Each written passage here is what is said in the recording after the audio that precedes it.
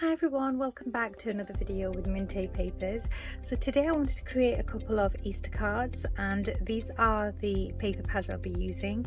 The Floral Book 4 is perfect for your Easter project so I'll show you some elements from this and then I'm also using Beauty in Bloom with a beautiful um, background so this is going to be for my card layers which I'm going to show you in a sec so you can see beautiful colours and the flowers actually match some of the larger flowers in Floral Book 4 which is really really nice as well. So for the floral book 4 you're going to see um, these beautiful cutaway elements. So I'm using this little bunny rabbit and um, one of these little ducklings or chicks should I say. You can use whatever elements you like and then I've also got some flowers that I've cut as well from this book. So really really beautiful um, duo. They go together really well. Um, to the side here I've got some dies that I'll be using. So these are some egg-shaped dies and these are um, the largest is going to create my card base which I'm going to show you right now before I get into making the actual card.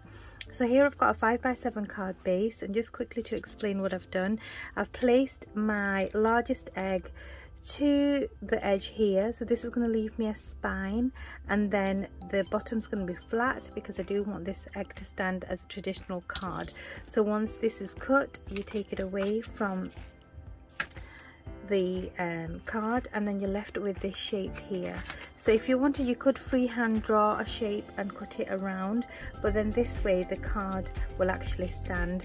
And I've got my layers ready to go so let's get these cards done. And they are going to come out amazing. Just before I actually go into that I'll just show you here is my little selection of items that I've cut and put together. So um, you can see my little chick here my little bunny rabbit the flowers. I've got some sentiments here, I've got some full foliage and I'm ready to go. So let's get creating. So here I have my first card base, it's the pink one. So what I'm going to do is stick my layers on um, on top of my card base. The first layer is going on flat on some wet glue and the other two layers are going to be going on with some double-sided foam pads and the foam pads I'm using are two millimeters thick so they are quite thick and they give a really really nice dimension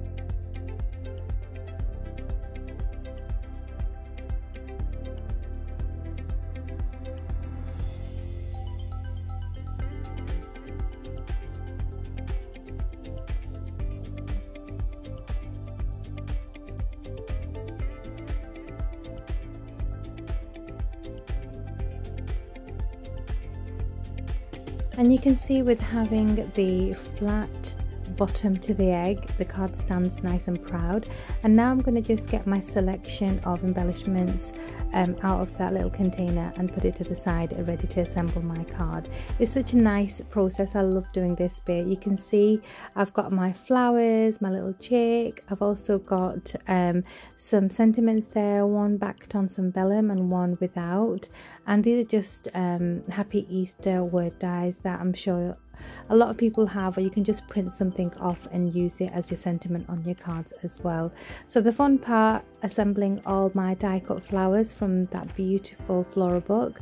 And I'm using a combination of hot glue double-sided foam just to give me some varied um, heights to my flowers and I'm just going to be stacking them to the front of the card and leaving a space on the top for the little chick. So I'll be using some faux foliage as well you can see there to the top right and I'm going to be using them to just to create some extra texture on my card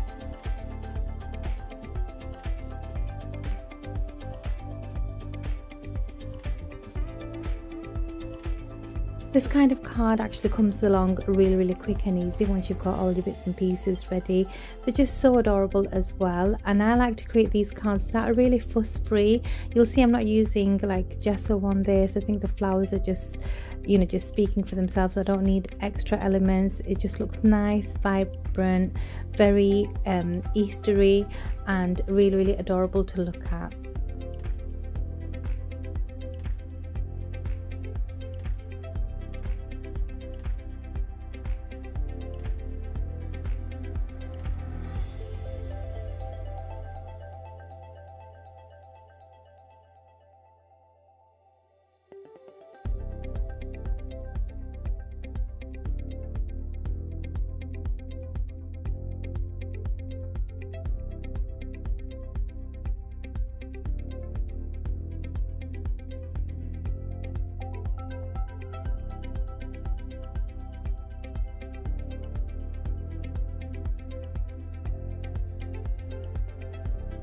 So I'll be moulding my little chick there with my hand just to give it some shape and then adding some double-sided foam. This time I'm doubling up on my foam pads just to give the little chick extra dimension and make it pop with a bit of a shadow behind it. That looks really adorable. And then um, I'm just thinking of where to put this last flower. These are just so adorable and once you've cut them you want to use them all. And um, they're really really addictive when you've got all your flowers ready. You just want to use all of them. Um, so my sentiment is going on next. I am using the one with the vellum and I'm just going to put it to the top of the um, pink egg and I'm just using some um, adhesive. This dries clear so it's not going to show through the vellum. And then my final step to this card is going to be adding that really really dainty little bow and it's this yellow um, almost like a raffia type material yellow and white and I think it goes really well with this particular card. And it came out so so adorable I absolutely love how simple and easy it is to put together. So definitely give these a go if you've got those papers. So on to my second card. I'm going to let you enjoy this. I'm going to be using um, exactly the same process as I did with my first card except I'm using some different um, coloured flowers and some different faux foliage as well. So enjoy and um, check out the pictures at the end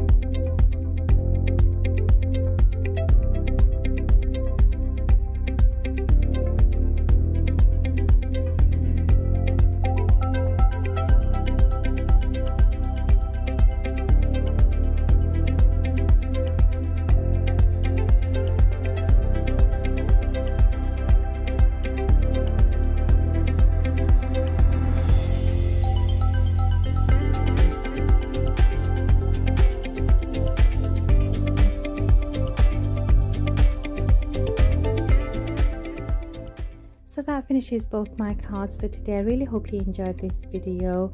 Um, check out all the links below to where you can find um, Mintay papers and inspiration from all the other design team members. Until next time take care of yourselves and i will see you soon. Bye